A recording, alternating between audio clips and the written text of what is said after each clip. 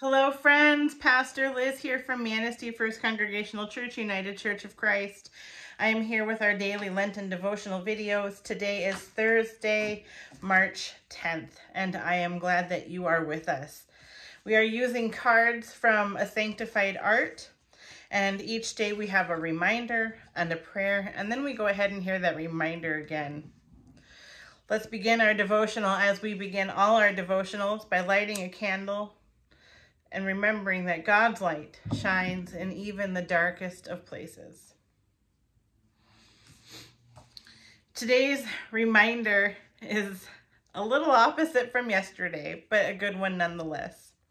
Saying yes can be holy when that yes moves you closer to God and closer to your true self.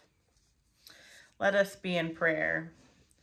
God of affirmation, I want to be brave enough to say yes to the things that you place in my path that are meant for me.